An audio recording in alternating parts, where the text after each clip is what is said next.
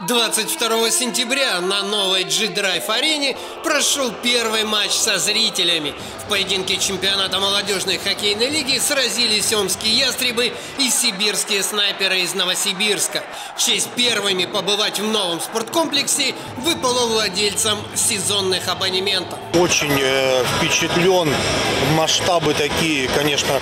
Такое впечатление, что ты находишься где-то в НХЛ, ты на какой-то там, э, или в, в Питтсбурге, в Чикаго, там, да, там, глядя на их супер современные арены. Очень удобные кресла, подстаканнички какой-то там, э, сок поставить там э, с детьми, когда сидишь. И просто, я не знаю, настолько все атмосферно и настолько все круто. Я очень ждала этого сегодняшнего первого, как раз привела сюда свою семью, не в полном составе, но все, кто мог.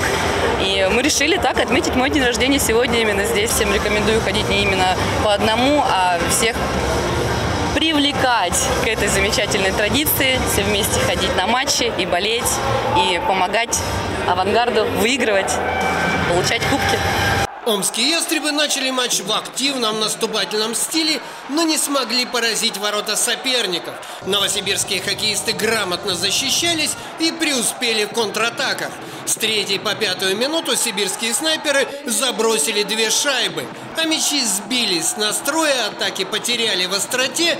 В перерыве между периодами болельщики начали черпать позитивные эмоции в великолепии и комфорте новой арены. Ожидания мои лично превзошли. Я просто ахнула, когда увидела такой интерьер, все наши цвета любимые. Вот. Удобно, кресло заценила, который сидеть, это мягкая обивка. Ну, вот все продумано. Омские ястребы во второй части матча пропустили еще две результативные атаки новосибирских хоккеистов и начали забивать лишь в начале третьего периода. Тимур Муканов и Антон Казачок сократили разрыв в счете, но перелома в игре не наступило. Хозяев льда подвели удаление. Гости дважды реализовали численное преимущество. В итоге омские ястребы уступили со счетом 2-7. Первый период хороший матч. Два команды по браткам 17-4 в первом периоде. 17 братков сделали. Противник 4-2 гола забил. Ну и потом маленько не умеем держать удар.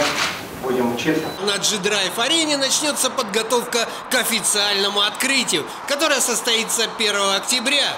Кульминацией события станет матч «Авангарда» с Новосибирской Сибирью.